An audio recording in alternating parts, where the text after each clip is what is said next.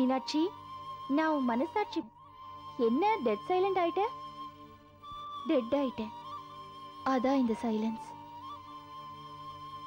ஏன் இந்த போராட்டம்? ஏதோ ஒரு தப்புல இருந்து தப்பிக்க மேல மேல நீ தப்பு பண்ற. இத்தனை தொலைவுக்கு நீ போனதுக்கு நேர்மாறா ராகேஷ் விஷயம் வெளியில தெரிஞ்சா உன் நிலைமை என்ன ஆகும்?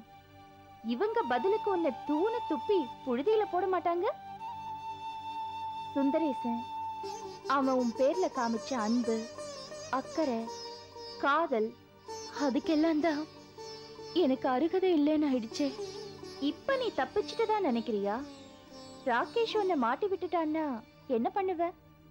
அவன் பிளாக்மெயில் செஞ்சு ஏமாந்தா அதைத்தானே செய்வான்? அதுக்கு முன்னாடி இங்க இருக்கிறவங்க சந்தேகமே விஷயத்தை கண்டுபிடிச்சிரும் போல இருக்கே. அப்போ என் நிலைமை? மீனாட்சி இப்போ உன் நிலைமை ரொம்ப ஸ்ட்ராங் உன்னை சுத்தி வலுவானவங்க இருக்காங்க. ராகேஷ் உன்னை நெருங்கிறது கஷ்டம். இல்ல இப்பதான் இன்னும் பயம் ஜாஸ்தியா இருக்கு இவங்களுக்கு அந்த விஷயம் தெரிஞ்சா நான் செத்தே போயிடுவேன். அது என்னமோ உண்மைதான். உங்க அம்மாவை நீ எப்படியெல்லாம் நோகடிச்ச? ஒருத்தர் விடாம எல்லாரையும் வருத்தப்பட வச்சிருக்க. ராகேஷ் விஷயம் உன்னை எங்க கொண்டு போய் விடுமோ? மனசாட்சியான எனக்கே தெரியல. இந்திராணிய வீட்டுக்கு வராம செஞ்ச படிப்பை நிறுத்தின இப்படி எத்தனைதான் செய்ய போற? உண்மை ஒரு நாள் வெளியில வரும்போது உன் கதி என்ன ஆகும்? அம்மாவுக்கும் அம்மாய்க்கும் நான் எங்கோ போய்விட்டதாக கவலைப்பட்டு என்னை தேட வேண்டாம்.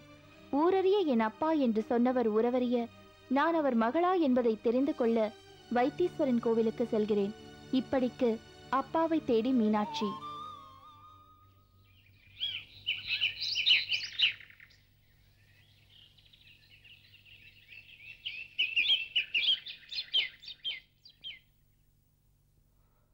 வாங்க வாங்க. நமஸ்காரம். வணக்கம் வணக்கம் வணக்கம்.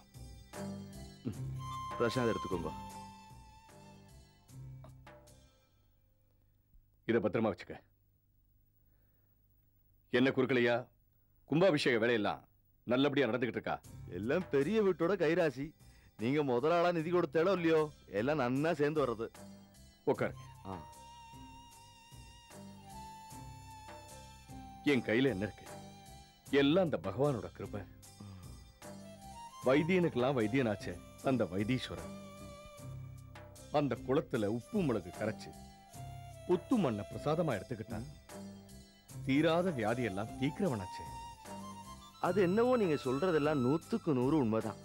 அந்த வைத்தீஸ்வரனை மனசுல நினைச்சுட்டு வேண்டிட்டா நம்ம தீராத வியாதியெல்லாம் தீருங்கிறதுனால தானே எல்லாரும் இந்த ஸ்தலத்துக்கு வர்றா. ஒரு சின்ன வேண்டுகோள். வேண்டுகோள் என்னவோ சின்னதுதான். ஆனா அதை நிறைவேத்துறது ரொம்ப கஷ்டம். பாக்கியம் உள்ளவாளும் பிராப்தம் இருக்கிறவாளும் தான் அதை நிறைவேற்ற முடியும். அதனால தான் நான் உங்களாண்ட இந்த கோரிக்கையை வைக்கிறேன். என்ன? நம்ம வைத்தீஸ்வரனுக்கு உத்ராட்சத்திலே கவசம் பண்ணணும். செவ்வாதிலே காப்பு போட்டு அதுல உத்ராட்ச கவசம் பண்ணணும். இது பூர்வத்திலே இருந்துட்டு இருக்கு ராஜாக்கள் காலத்துல உத்ராட்ச கவசம் போட்டு இருந்திருக்கா இது ரொம்ப பெரிய வேண்டுதல் தான் இருந்தாலும் அதை நிறைவேற்ற. நம்ம கருணையாக்குறதும் அந்த ஆண்டவன் தான் அந்த மாதிரி ருத்ராட்சத்துல கவசம் போடுற ஐதீகம் என்ன? சர்வம் சிவமயம். சர்வஜனோ சுகினோ பவந்து. உலக கடாட்சம் முக்கிய காரணம். ஏகமுக ருத்ராட்சத்துல செய்யணும்.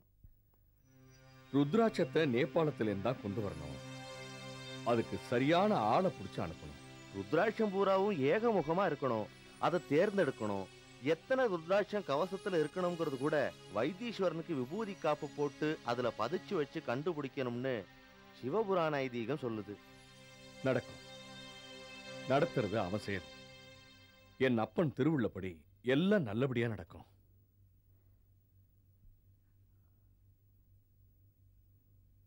அப்பா.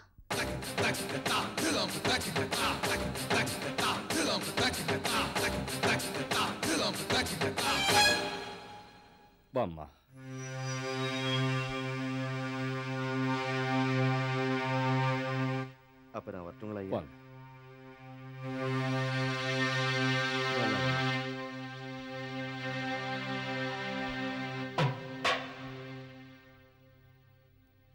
என்னம்மா? ஏதாவது பரீட்சையா? யாருக்கு? உனக்குத்தான் பின்ன எனக்கா? எதுக்கு? என்ன எதுக்குன்னு கேக்குற? நீ வந்திருக்கிற தோரணையை பார்த்தா ஏதோ பரீட்சைக்காக வந்திருக்கிற மாதிரி தான் தெரியுது ஓகே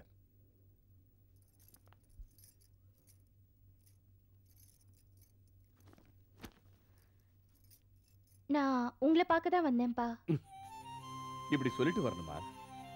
இங்க வந்தாலே என்ன பார்க்கன்னு தானே அர்த்தம்? சொல்லுமா. அப்பா. ம். கொஞ்சம் கூட எடப்பட முடியாத அசுரத்தனமான அறிவு. யாருக்கு? உங்களுக்கு தான்ப்பா நான் உனக்கும் நினைச்சேன். அப்படி இருக்கிறதுல என்ன தப்பு? நான் யார் பொண்ணு? இந்த ஊர்ல மட்டும் இந்த கேள்விக்கு ஒரே ஒருத்தனை தான் எல்லாரும் காமிப்பாங்க. திருவண்ணாமலையில கால்ல செருப்பு போட்டுட்டு நடக்கக்கூடாது. பூமியில அடிக்கு ஒரு லிங்கம் இருக்குமா? அது ஐதீகம். இங்க வைத்தீஸ்வரன் கோவில்ல அவனை வேண்டிக்கிட்டு பிறக்கறதுனால அத்தனை பேருக்குமே அவன் தான் அப்பன். சிவகாமி! மாமா? வா இங்க யார் வந்திருக்கா பாரு. கந்தநல்லூர்ல இருந்து பொண்ணு வந்திருக்கா. கூட்டிட்டு போ. அம்மாவோட போமா முதல்ல குளிச்சிட்டு பலகாரம் பண்ணு. சரிப்பா.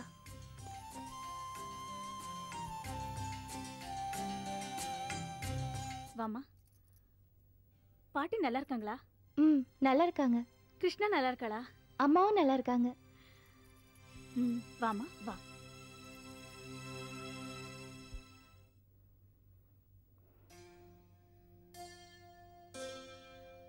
இவ்ளோ பலகாரம் வச்சிருக்கீங்களே.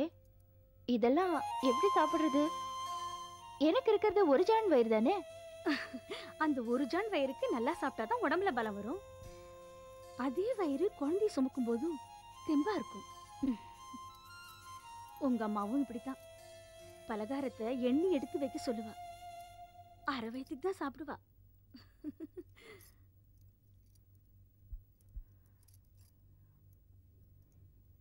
எங்க அம்மா உங்களை எப்படி கூப்பிடுவாங்க? அக்கானு நீங்க?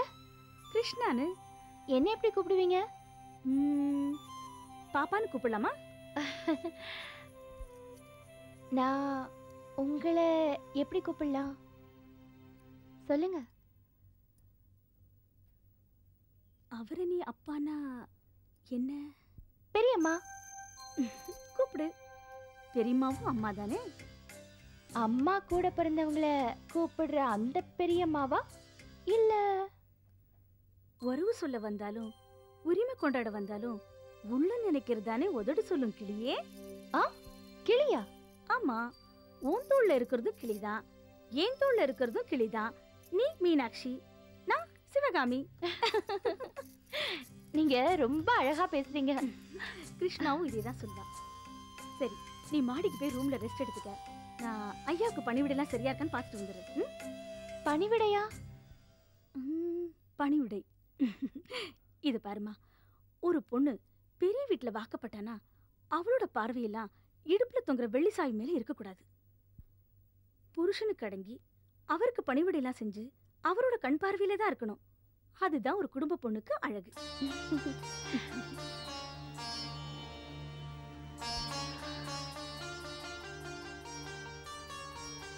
வார்த்தைகள்ல கண்டுபிடிக்க முடியல. பழகுற விதத்திலையும் ஒன்றும் வித்தியாசம் தெரியல.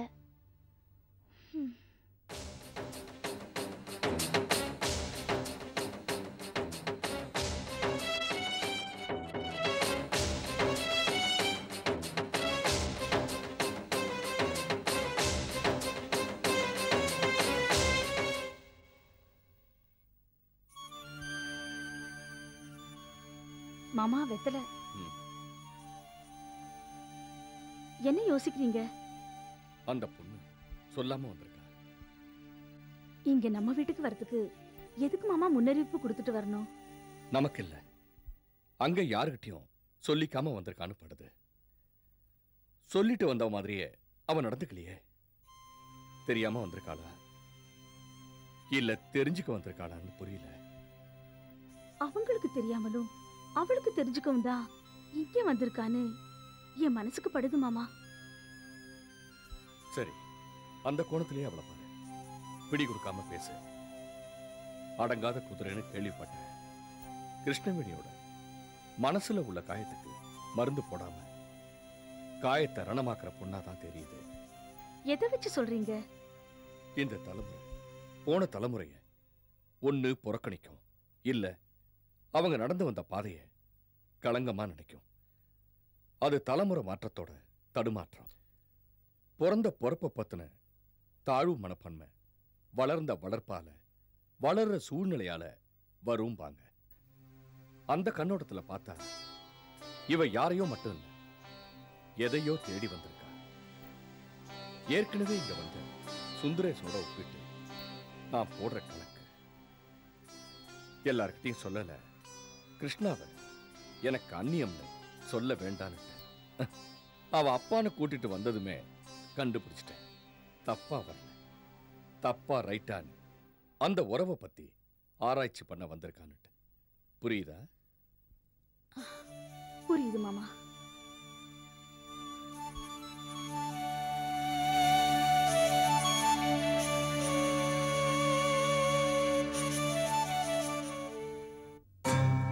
மானம் போகுது. இப்படி ஒரு பொண்ணு பிறக்கலன்னு யாரும்மா அழுதாங்க? அது எனக்கு தெரியாது. இப்படி ஒரு பொண்ணு பிறந்துருச்சேன்னு நான் அழுதது உனக்காக மட்டும்தான். ஏண்டி அந்த முத்துக்குமாரசாமி கிட்ட நீ வேற ஒருத்தன் கிட்ட மனச பறி கொடுத்துட்டேன்னு சொன்னதா அவர் என்கிட்ட சொன்ன உடனே? அவர் நமக்கு எழுதி கொடுத்த பத்திரத்தையே திருப்பி கொடுத்தனே? அன்னைக்கு அவர் மனசுல நாம ஒசந்து நின்னோம். இன்னைக்கு உன் பொண்ணு அங்க போய் நிக்கிறாங்கிறப்போ என் உடம்பே கூணி குறுகுதுரி இந்த பொண்ணு செய்யற ஒவ்வொரு காரியத்தை நினைச்சா நாக்கு புடிங்கிட்டு சாகலாம் போல இருக்கு. நாக்கையா அதை விட மீனாட்சிக்கு யார் அப்பன்னு ஒரு வார்த்தை சொல்லியிருந்தீனா இந்த கிருஷ்ணதாசி பவனத்தோட மானம் மரியாதை எல்லாம் என் பேத்தி ரூபத்துல வைத்தீஸ்வரன் கோவில் பெரிய வீட்டு வாசப்படியில விழுந்திருக்காதுல்ல? அம்மா திரும்ப திரும்ப அதையே கேட்டுட்டு இருக்காதம்மா. இப்ப சொல்றேன். நான் தீட்டும் பட்டு தீயும் சுட்டு கூனி குறுகி நிக்கிறேனே. அதுக்கு ஒரே காரணம்தான். கொடுத்தவன் வந்து இது நான் கொடுத்தது திருப்பி என்கிட்ட கொடுத்துருன்னு சொல்லணும்.